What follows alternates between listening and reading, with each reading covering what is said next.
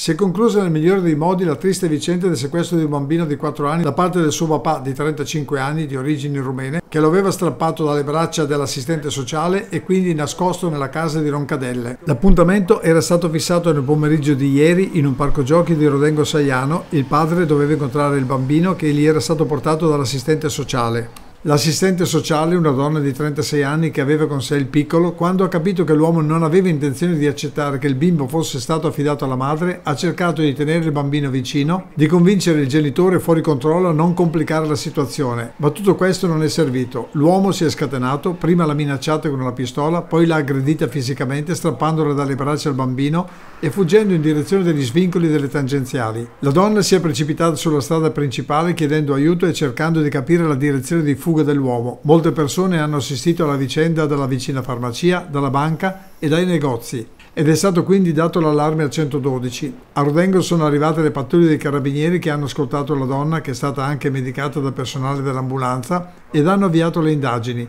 Quindi i carabinieri hanno ascoltato i testimoni e iniziato ad analizzare i dati dei lettori targa dei comuni della zona e le immagini delle telecamere degli esercizi più vicini alla zona dell'aggressione. La foto e la descrizione dell'uomo e del bambino sono state diffuse a tutte le pattuglie su strada, ma anche ai posti di frontiera, ai porti e alle stazioni. Dopo qualche ora i carabinieri hanno individuato l'uomo in un appartamento di un complesso residenziale di una zona di recente edificazione a Roncadelle e sono scattate tutte le procedure previste in questi casi. Oltre alla pistola che aveva mostrato alla l'assistente sociale c'era la possibilità che avesse armato porte o finestre. Per questo, per prima cosa, è stato bloccato il traffico in tutto il quartiere, con pattuglie di carabinieri con il giubbotto antiproiettili ad ogni angolo di strada.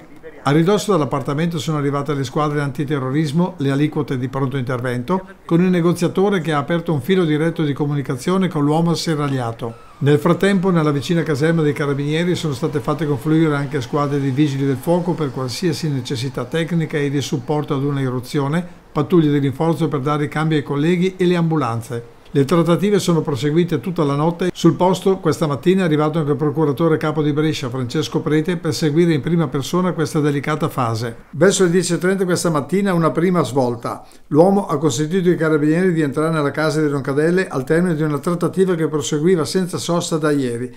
Quindi poco dopo, verso le 11.15, il bambino è stato liberato, sta bene ed è stato affidato subito ai servizi sociali. La questione si è risolta, il bambino sta bene e il padre si è pentito del gesto che ha fatto, tecnicamente è un sequestro di persona e sarà arrestato, ha detto il procuratore Prete uscendo dall'appartamento. L'uomo separato dalla mamma del bambino di 4 anni ha precedenti per violenza domestica. Infatti si trovava agli arresti domiciliari dopo che un anno fa aveva aggredito l'ex moglie e l'avvocato della donna, sempre per questioni legate al bambino che lui avrebbe voluto vedere più spesso.